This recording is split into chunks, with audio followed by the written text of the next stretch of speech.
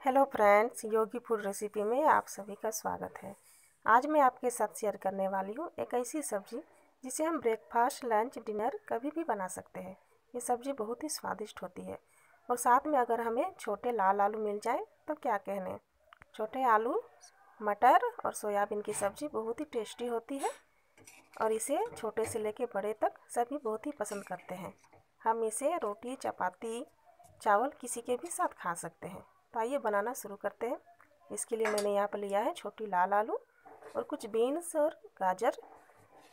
Gravy के लिए मैंने यहाँ पे लिया है टमाटर, प्याज, कुछ हरी मिर्च, गोल मिर्च, लहसुन और अदरक। हमें इनका पेस्ट बना लेना है।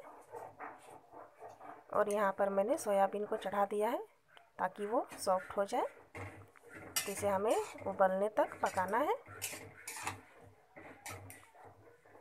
मैंने सोयाबीन के पानी को निचोड़ के निकाल लिया है, तब हम इसे फ्राई कर लेते हैं।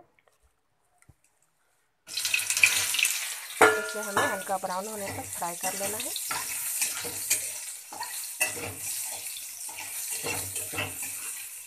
मैं इसमें कुछ नमक डाल देती हूँ। और इसे हमें फिर से चला लेना है। सोयाबीन फ्राई हो चुकी है। अब हम इसे निकाल लेते हैं। सोयाबीन हमें हफ़्ते में कम से कम दो बार खाना चाहिए। ये हमारे सेहत के लिए बहुत ही अच्छी होती है। ग्रेवी के लिए मैंने यहाँ पे तेल डाल दिया है और अब मैं इसमें डाल देती हूँ प्याज और चला लेती हूँ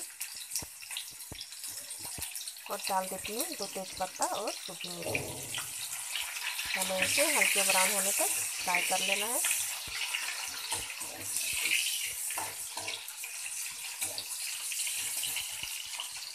प्याज फ्राई हो चुकी है। तब मैं इसमें डाल देती हूँ, कटे हुए टमाटर, और हमें इसे चला लेना है। टमाटर जल्दी से कुक हो जाए, इसके लिए हमें इसमें डाल देना है नमक, जिससे कि टमाटर जल्दी गल जाए। मैं इसमें डाल देती हूँ दो चम्मच नमक। आप अपने टेस्ट के अनुसार कम या ज़्यादा कर सकते हैं। हमें इसे चला लेना है।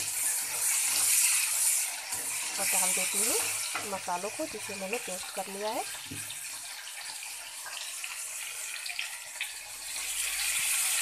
इसे भी हमें चला लेना है। आप एकदम मेरे तरीके से सोयाबीन, मटर, आलू की सब्ज़ी बना कर देखें।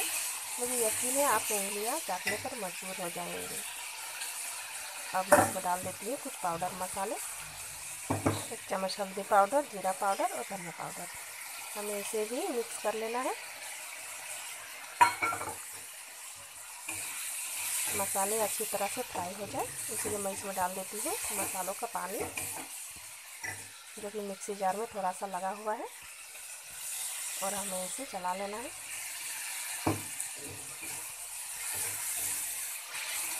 हमें इसे तब तक पकाना है, तब तक, जब तक कि इसका कच्चा फ्लेवर चला ना जाए। अब मैं इसमें डाल देती हूँ कस पाउडर। ये पूरा से ऑप्शनल है। इसे डालने से कलर बहुत अच्छा आता है। आप चाहे तो डालें या ना डालें। हमें इसे भी मिक्स कर लेना है।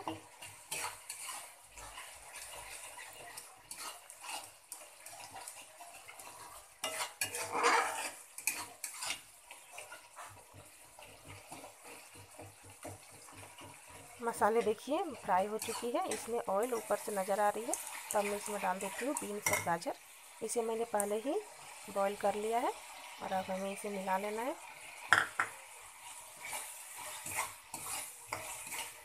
अब मैं इसमें डाल देती हूँ सोयाबीन्स को, जिसे मैंने फ्राई कर लिया था। इसे भी हमें मिला लेना है मसालों के साथ। और डाल देती हूँ आलू को। ये लाल आलू है, ये खाने में बहुत ही स्वादिष्ट होती है। इसे हमें मसालों के साथ मिला लेना है।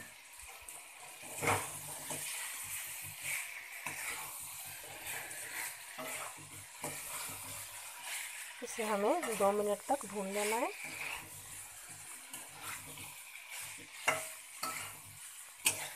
हमने दो मिनट तक भून लिया है तो मैं इसमें डाल देती हूँ हरे मटर को।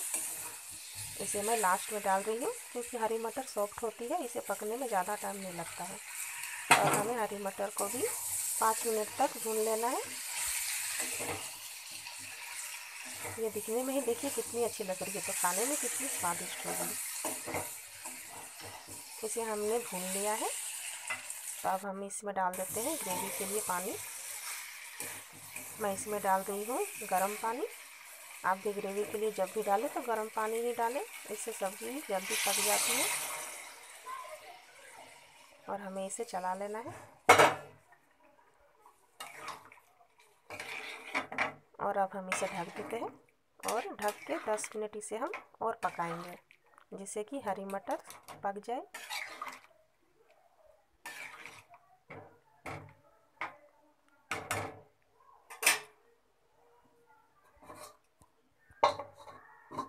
सब्ज़ी बन के तैयार है, देखिए।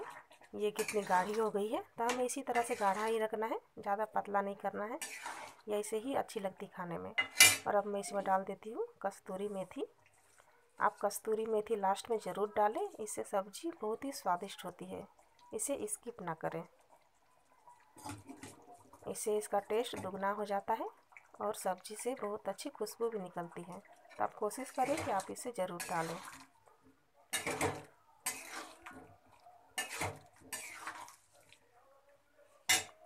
अब मैं इसमें डाल देती हूँ गरम मसाला।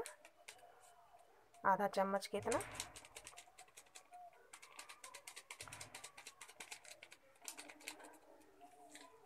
और डाल देती हूँ हरा धनिया। अभी सर्दियों का मौसम है तो हमें बहुत ही आसानी से हरा धनिया मार्केट में मिल जाती है। तो हरा धनिया तो डालना बनता है। इसे डाल के अच्छी तरह से मिला लें। और हमारी सोयाबीन, आलू, मटर की सब्ज़ी तैयार है। आप इसे चपाती, चावल, किसी के भी साथ खाएँ ये बहुत ही स्वादिष्ट लगेगी। आप इसे एक बार ज़रूर ट्राई करें।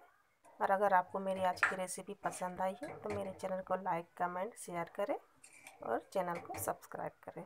तो मिलती हूँ मैं अपने नेक्स्ट रेसिपी के साथ। तब तक के लिए बाय एंड टेक केयर।